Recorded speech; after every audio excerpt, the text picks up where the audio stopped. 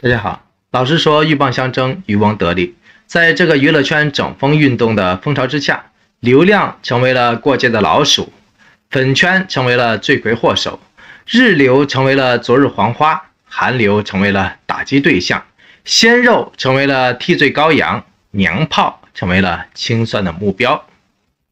唯二受到了青睐、热捧、显得相对安全的两类演员。于是乎，光明正大的走进了野蛮生长的资方的视线当中。如果您一路都在关注能量达人赵丽颖和王一博的话，您或许更加的期待他们能够尽快的野蛮进组，尽快的野蛮得奖。所以，热爱阳光和正能量的您，千万别忘了继续的点赞、鼓励、支持和示爱，并留下您满满的祝福和心愿，因为爱和陪伴永远都不是一句话。而是一个行动。我在之前的视频当中跟大家讨论过了个性王一博的酷盖的花名，这是他特别喜欢的花名之一了。一向特立独行的他，依旧是满满的少年的情怀和不死的青春和洋溢。我有理由相信，这个花名对于这个出手半生。归仍少年的王一博而言，是一个巅峰时期的重要的记号，至少还会被他偏爱和珍藏十来年。毕竟有颜值担当，有过人才华，有鲜明个性，才能担得起这个酷酷的衔头。然而，当娱乐圈的整改风向发生了一百八十度的彻底逆转之后，高帅和酷盖仿佛一下子。就变成了娱乐圈的小众的词汇了，甚至如果在勾兑上流量、耽美、娘炮、鲜肉等等这些开始变得禁忌的非主流的词汇的话，那么但凡这类型的演员，甚至包括顶流的演员，都必须做好充足的心理准备了，准备迎接好日子即将过去的各种困惑和自我的救赎了。流量的年代一旦过去了，所有高频闪现过的娱乐元素和流量大咖都必须进入到了一个痛苦而漫长的遗忘期和转型期。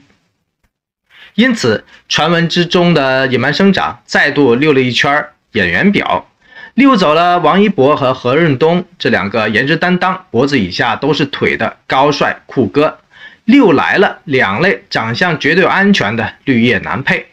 这两类安全的男配，一个是大王一博五岁的欧豪，一个是大赵丽颖七岁的张鲁一。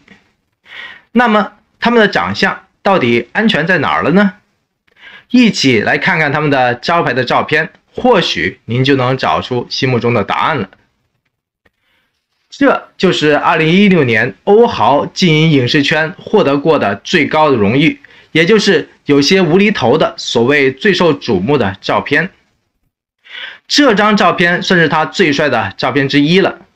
通过这张照片，您或许可以看得出来，他的帅绝不是主流的那种健美、星目、雅致、俊美的帅，而是非对称的，扔到路人甲当中才会发光出来的那种帅。因此，欧豪最早的成名作，也就是那部帮他。拿到了人生最高荣誉瞩目奖的左耳，让他呢几乎不会被人注意到的帅开始发光发热了。他所饰演的张漾，其实就是他的本色的出演。这是一个就算与世界为敌，也不会委屈自己的相当叛逆的少年的角色。偏偏就是这样一个叛逆不羁。痞帅上头的狂野，让观众们开始记住了这个边缘化的特征人物，以及他那边缘化的帅了。转年，他在另外一部电影《少年》当中饰演了一个纯粹野蛮生长的男孩苏昂，男孩的整个人都被黑暗和仇恨笼罩着，而欧豪身上的那股子与生俱来的痞子感和野生感。在片子当中，几乎完全不需要外在的演技来修饰、来加持、来成就。他身上所散发出来的强大的痞帅的气质，完全就是璞玉一块，浑然天成，完全就是教科书上以及表演课上都学不来的自身的气质使然的。如果说欧豪本人就是野蛮生长的苏昂本尊，我相信看过《少年》的人。都会赞同的。所以我有理由相信，欧豪浑然天成、浑身散发出来的痞子气，正是打动《野蛮生长》导演和编剧的最大的亮点所在了。因为《野蛮生长》并不是偶像剧，并不需要帅气来拉惊叫、走过场，而是需要无时不在以及无处不在的斗狠斗勇的痞气和血气加持。跟着，让我们再来看一看这张张鲁一的经典照片，您又想到了什么呢？你又觉得为什么《野蛮生长》的剧组会看上了他的呢？我来给您四个选择吧，你来猜猜看。A 长得不好看，符合剧中的角色；B 不怕自我丑化，角色容易适配；C 四十来岁的老演员足够沧桑，符合剧情；D 导演的个人选择而已，吃瓜群众猜不到。欢迎您在评论区当中留下心目中的答案。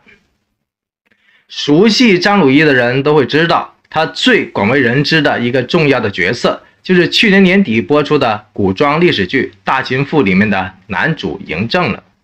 时年已经四十来岁的张鲁一饰演了那个只有十三岁的少年嬴政。并在剧中向三十六岁的朱珠所饰演的母亲尽情的撒欢卖萌，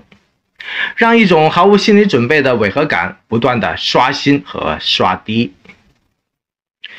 就是这么一个彻底压垮了所有吃瓜群众心理承受能力的超玄幻的画面，成就了《大秦赋》当中被人反复拉踩吐槽的教科书级别的狗血场景。也最终彻底打破了“老戏骨”这个词的原本中性褒义的定义范围了。虽然后来该剧的导演语焉不详地解释说，这是剧情的需要，需要有厚度、有精力的张鲁一一个人支撑下去。这种解释了也等于没解释的说法，有没有人信，真的是天知道了。但张鲁一什么角色都敢接。什么风险都敢担的大无畏和大勇敢，以及大气魄，倒是可见一斑了。或许这就是导演圈时下最喜欢的演员类型了。也就是说，一不怕自身丑，二不怕丑上丑，三永远听导演的话。这样的导演绝对不是那些喜欢刷流量、喜欢套光环。喜欢耍大牌以及喜欢卖人设的巨星大咖所能比的。或许再过一两年，娱乐圈整风运动持续开展下去的话，这种丑星、痞星，充满了脚气、汗臭，纠结着血气阳刚的大男人，就会成为了娱乐圈新一波的时尚和新一代的风潮了。您期待这种脚踢娘炮、拳打伪娘？捏爆耽美的娱乐新气象吗？欢迎您在评论区当中留下四个字的短评，一个是不敢苟同，一个是非常期待，一个是没有感觉。多谢您的参与和互动。说实在的，《野蛮生长》的剧组也是被舆论界、粉丝圈反复的拿来说事，反复的拿来指点，也都没有了脾气了。总之，现在这种恶劣的娱乐大环境之下。怎么安全怎么做也是无可厚非的，只是我个人感觉，对于长相出众、外形靓丽的赵丽颖而言，在这部大女主的时代正剧当中，没有一定的男星颜值来呼应的话，似乎真的缺了点什么似的。如果舍不得辛苦打拼出来的名和利，也走不出必不可少的自保三部曲。其实，自主投资这部冲奖有望的时代正剧。风险投资一把，这个王炸的弟弟，走出一步双顶流、双风险，但是极有可能双回报的命运的大棋，不仅可以改变自己的命运，也可以续写云飞的辉煌。毕竟社会主义的制度之下，与其像郑爽或者范冰冰一样三亿、九亿的报效祖国，倒不如三亿、九亿的自我投资、自我提升、自我圆梦、自我实现。您说对不？欢迎您在评论区当中留下两个字的短评互动，一个是发梦，一个是喜欢，一个是无语。多谢您的捧场和互动。最后，您无论是喜爱赵丽颖，还是喜欢王一博，或者衷心祝愿云粉夫妇王炸 CP 这次能够安全的进组，野蛮的拿奖，都欢迎您大声的点个赞、鼓个励、加个油或者喝个彩，因为您的所有的爱心、鼓励和支持，已经证明了两三次了，都是达成心愿的无形的能量。这些无形的能量慢慢汇聚起来的话，就是能够影响未来的，打造传奇的巨大的能量场。这种能量场终有一日会为您，会为我拨开云雾，带来惊喜，更会影响到更多更多的人，包括您所憧憬和祝福的事情，包括这次已经翻转了无数次的野蛮生长。爱就请全新的爱到底，说就请大声的说出来。同样，我也欢迎您点赞、鼓励、订阅、转发和支持本频道，因为这里有爱。有光有言，多谢您的一路的陪伴和宝贵的时间。